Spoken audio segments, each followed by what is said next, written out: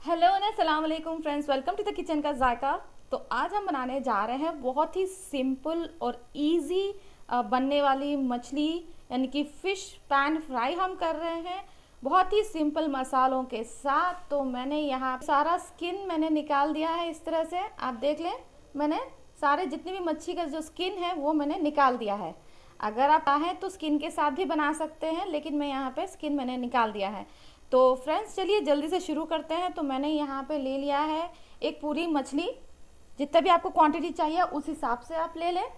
अब सारे मसाले हम यहाँ पे मिक्स कर लेंगे, क्योंकि हमें थोड़ा सा मैरिनेशन करना है अपनी मछली को फ्राई करने के लिए। तो एक छोटा चम्मच हम डाल रहे हैं यहाँ पे हल्दी।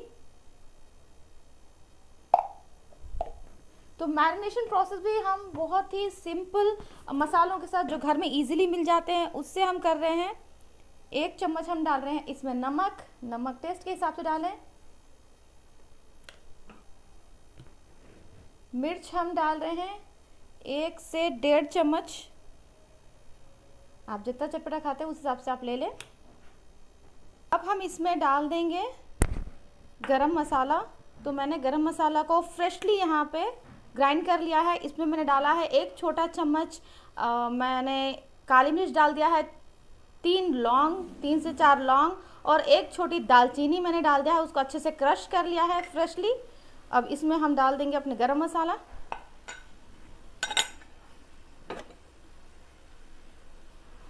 नेक्स्ट हम डालेंगे इसमें दो स्पून भर का अदरक लहसुन का पेस्ट।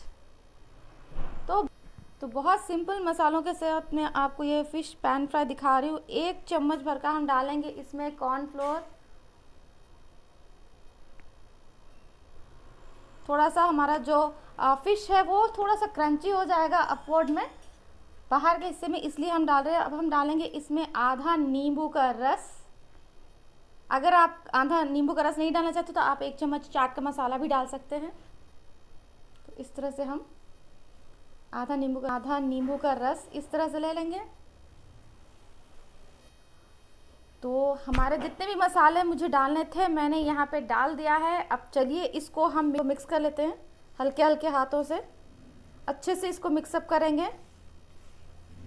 फ्रेंड्स, मुझे कमेंट सेक्शन में ज़रूर लिखें कि आपको ये फ़िश पैन फ्राई कैसा लगा। बहुत सिंपल मसालों के साथ मैं इसको प्रिपेयर कर रही हूँ। अब अपने घर में ज़रूर ट्राई करें और मुझे तो अगर आपने अभी तक मेरे चैनल को सब्सक्राइब नहीं किया है तो हिट द सब्सक्राइब बटन और बेल आइकन को प्रेस करना ना भूलें, ताकि जितने भी मेरे कुकिंग नोटिफिकेशंस हैं, वो आप तक ज़रूर पहुँचे। तो इसे हम मिक्स कर लेंगे, ताकि जितने भी मसाले हैं, वो अच्छे से मछली में कोट हो जाए। अब हम इसको ढाक कर आधे घंटे के लिए मैरिनेट होने के लिए छोड़ देंगे। करने के लिए छोड़ देंगे इससे ढक के। यहाँ पे पैन रख लिया है। जैसे मैंने कहा था, हम यहाँ पे फ़िश पैन फ्राई कर रहे हैं तो मैंने यहाँ पे पैन रख लिया है इस तरह से। अब हम इसमें डालेंगे ऑयल। शैलो, एकदम शैलो फ्राई करेंगे हम। मछली में ज़्यादा हम डीप फ्राई भरकर नहीं करेंगे। तो हमने यहाँ पे एक बड़ा चम्मच, एक से दो चम्मच हमने यहाँ पे डाल दिया है ऑयल। इस तरह से तेल को हम गरम होने देंगे।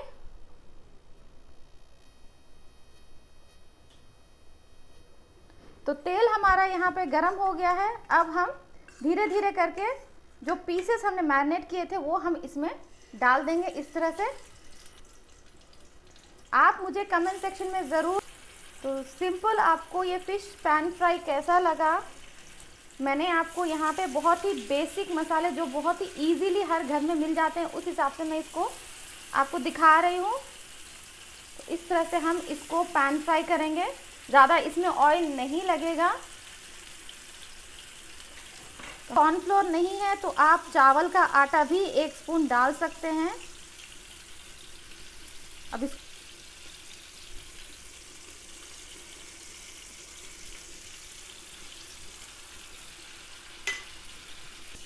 तो पाँच मिनट के लिए हम इसको हल्का हल्का करके एकदम शैलो फ्राई गोल्डन कलर में हम इसको कर देंगे।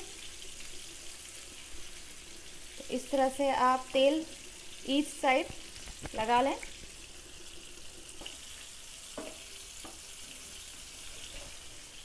तो जो मछली है, वो हमारी यहाँ पे अच्छे से फ्राई हो रही है। जब देख सकते हैं साइड में इक्वली यहाँ पे हल्के से गोल्डन कलर में हो जाएगा। यानी कि जो तेल है, वो खुद से मछली को छोड़ देगा। तब आपको इसको टर्न करना है। फ़र्स्ट टर्न हम ले रहे हैं। इस तरह से आपको पलटना। आप देख सकते हैं, बहुत ही अच्छा कलर आया है फिशेस में। हल्के से आपको इसको टर्न करना है, वरना जो मछली है वो टूट जाएगी। आप देख सकते हैं मैंने कितने धीरे से फिशेस को टर्न किया है। इस तरह से आपको सारे जो मछलियाँ हैं, और अगर आपको और भी सिंपल रेसिपी देखनी है तो मुझे लाइक करें और मेरे चैनल को सब्सक्राइब करें। तो यहाँ पे मैंने फ़र्स्ट टाइम ले लिया है। अब फाइव मिनट्स और मैं इसको इसी तरह से शैलो फ्राई करूँगी। बहुत ही जल्दी हमारी जो मछलियाँ हैं, वो बन के रेडी हो गई हैं। तो मीडियम फ्लेम पे हम इसको फ्राई करेंगे शैलो फ्राई ज़्यादा इसको आपको हाई फ्लेम पे नहीं करना है। एक बार जब तेल अच्छे से गर्म हो जाए, हम लोग फिशेस डाल लें तो फिर हम इसको मीडियम कर देंगे फ्लेम को।